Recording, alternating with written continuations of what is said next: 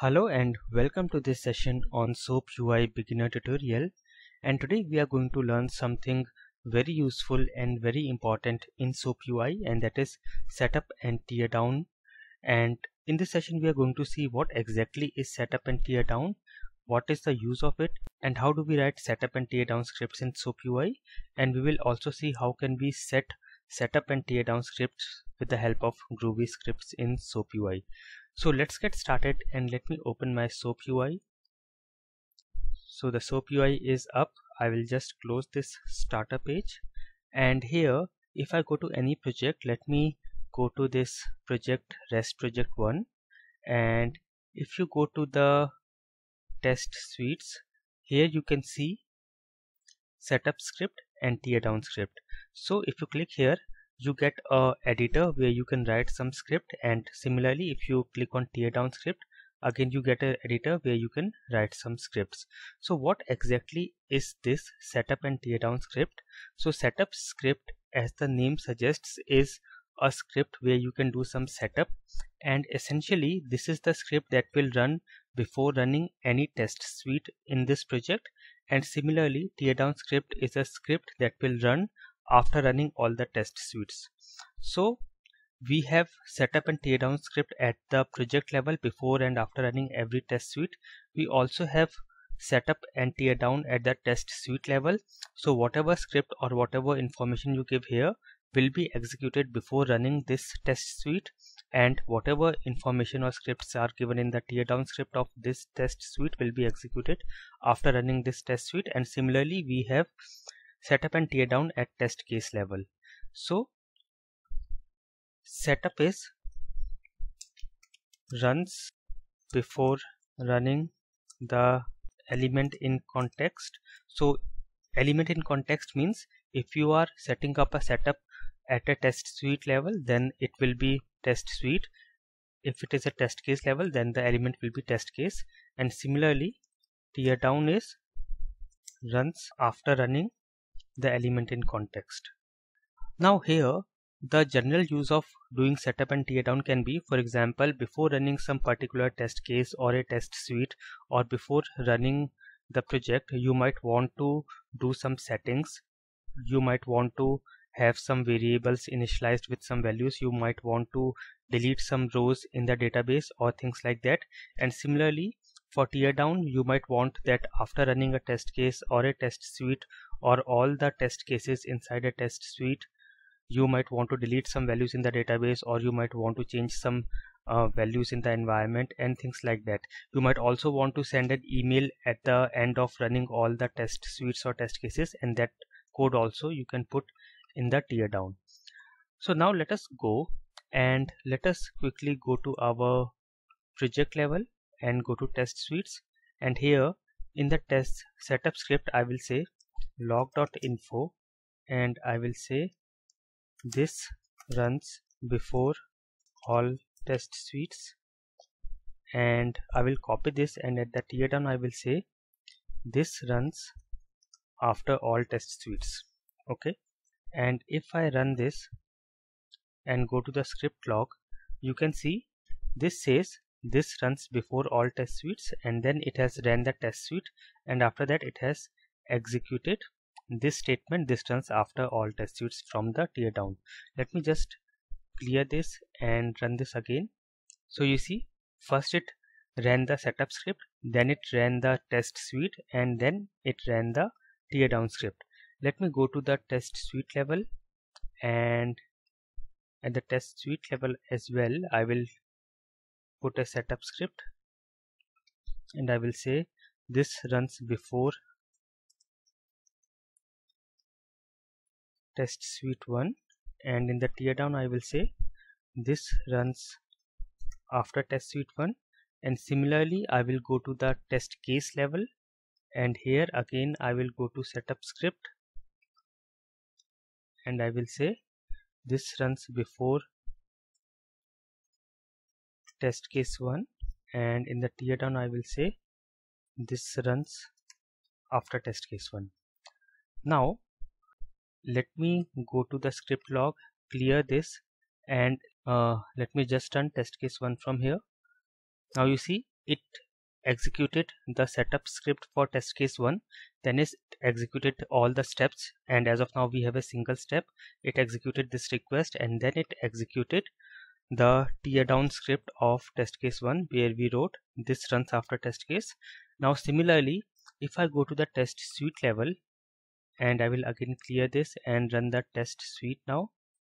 And you can see it executed the test suite setup script then it executed the test case setup script it executed whatever inside their test case was and then it executed the teardown script for test case and then the teardown script for test suite.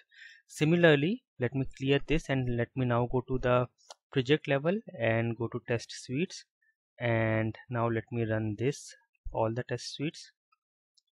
And here you can see again first we ran the setup script for all the suites which is at the project level then the setup script for test suite 1 and then the test uh, setup script for test case 1 and then the tear down scripts in the same manner.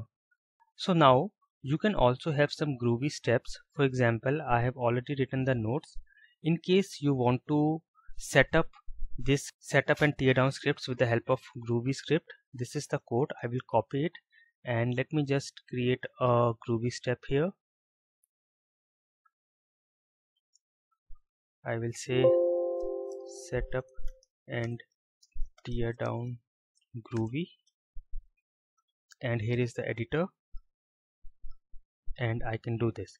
So the syntax is test runner test case dot test suite dot project dot get test suite by name and you can put the name of your test suite and then dot get test case by name put the name of your test case and then set setup script and whatever script you want to set up.